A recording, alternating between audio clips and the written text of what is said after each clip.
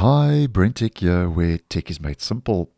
So, as you have seen from the title of this video, something interesting is taking place in build 26200 in the Canary channel, which was the latest preview build that rolled out um, late last week.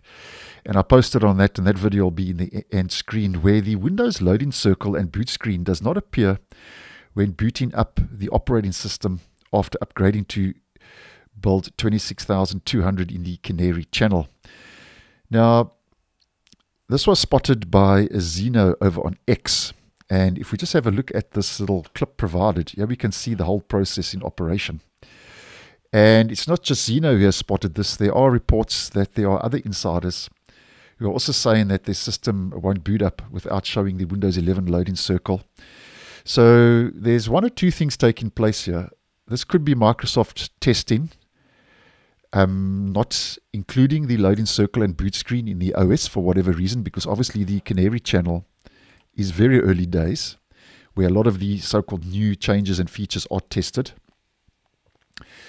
And also the, the whole process of missing the loading screen and loading circle means the OS boots up a lot quicker. Or this could just be a bug, which I tend to think it is. Um, the Canary channel is very early days.